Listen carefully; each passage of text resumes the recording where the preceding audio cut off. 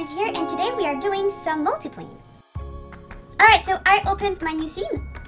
I'll go into import, images, get my PSD from my desktop. So I'll, I'll hit this one, uh, create layers based on file names, import as a Toon Boom bitmap drawing, use the vertical fit. And for the alpha, I'll use straight because I know that my images are already transparent, so that's fine.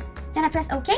And now since this PSD is a multi-layered image, I'll just know that file. So I'll set group as layer, transparency is straight, and then OK. And I'll wait a little bit and then I'll have my background. Alright, I have this amazing background imported in my scene.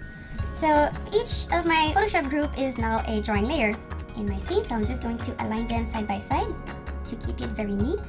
Since it's a background and usually in your scene, on your main composite, you want to have only like one connection for your character, one connection for your whole background, so I'm going to take that and I will cut, paste it, hit Ctrl H to create a composite and then connect it so it's a bit more clean to look at when you open your scene. What I need to do now is to place my background in my scene. So as you can see, this background is old. it was made for these old 4.3 shows, but now we're in HD, but it's okay. And what I'll do is I'll take my layers and I will make them bigger. So what I'm doing now is I'm moving the drawings directly. I'm putting keyframes on these drawings, which is the thing that I tell people not to do all the time.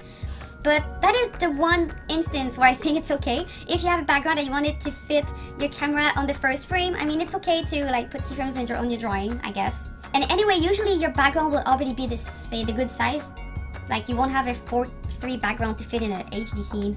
Uh, this is like exceptional. I did it, okay? I put a keyframe on my drawing. Sue me. And then what we will want to do is push our background in 3D space. So this is a trick that I used to do in studios all the time to go faster. So you select all your elements, you go Control Shift P to put a peg on each of them, and then you hit Control P to put a peg on everything. So if you do it very quick, it goes like pew pew, and you have your peg system for your whole background. And it took like one second, and it's done. So then I can start and take each of my uh, background to move them. But before I do that, I would like to show you a new view. So we've seen the perspective view so far and the camera view. And if I go here, I can go get plus, uh, there's top and side view. I will use the top view just because I want. Like not one is better than the other. I just prefer to have my drawings on the side here instead of on the top. It's just a personal preference. So I'm gonna use top.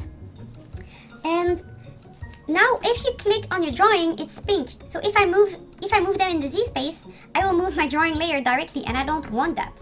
I want to select the peg, right? So to prevent any mistakes from happening, I will now select my drawing and get into and get into this little button here, which is called Set Properties on Many Layers. It's usually used uh, to do rigging, like to make sure that all your pegs are separate and stuff. So we can use it to stop our drawing layers from having animations on them. So animate using animation tool, you set it to off. And then if I click on it now, it will be yellow because it will select automatically the peg that is on top, which is pretty great. And now for my pegs, I want them to be in separate mode. So I'm gonna click on my pegs and just go separate. So now what I need to do is push my background in space. So I will take the sky card here and I will get my translate tool and push it. The problem that is happening now is that since I'm pushing it in space, if I show you in perspective, my drawing is not changing its size at all. But since it's going further away from my camera, my pieces now look like they're shrinking but it's just because they're going away. So then, if you were in another software, I'm talking about you, After Effects, you would have to like make them fit after by like the scaling and there's some math attached to that.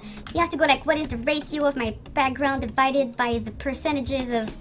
It's math! and I don't want to have anything to do with math. So in Harmony, it's very easy. You don't need to like push and scale and stuff. All you need to do is click on your pieces and instead of moving them with the translate tool, you go and get the maintain size button and like the sole purpose of this button is to keep visual scale and camera view as you move element in z-axis in the side or top view, which is exactly what we want. So I click on this and then here I'll go push it in space. So it doesn't look like it changed or anything, but if I go get a camera and I move forward, you'll see we have some z-depth happening. Alright, so now I'm gonna go and push my other pieces around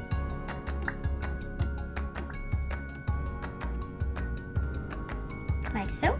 And if I move my camera, I'll have a very nice 3D uh, feeling.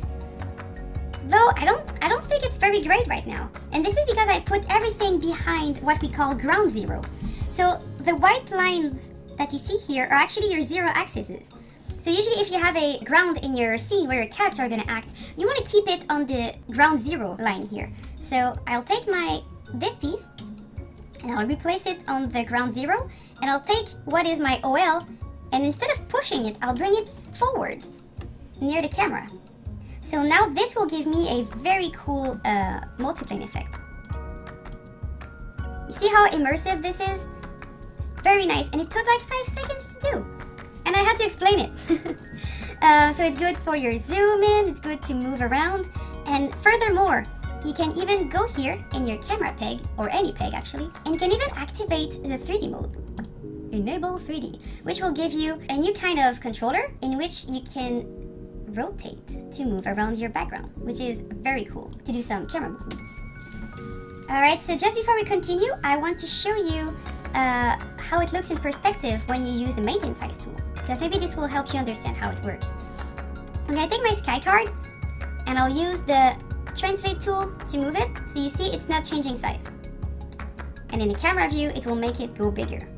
Alright, so if I take the maintain size tool and I move it, you see it's going to shrink in the perspective view. But it's not going to shrink into the camera view, it's only going to change the layering. So this is a very, very powerful tool to make your life easier.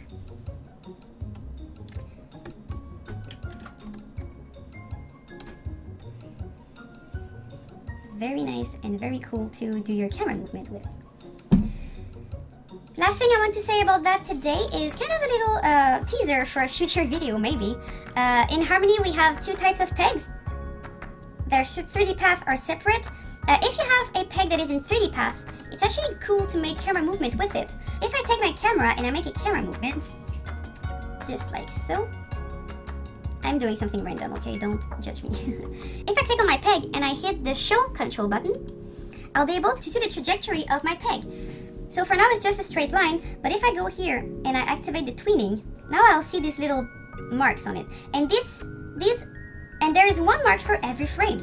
So if I go here in the drop down menu and I hit different kind of interpolation, you see that the spacing is going to change. Allowing you to maybe work with your timing a little bit. And with 3D Path Peg, what is great is that if you go over the line and you press P once, you can create these cool little dots that will allow you to move your camera around.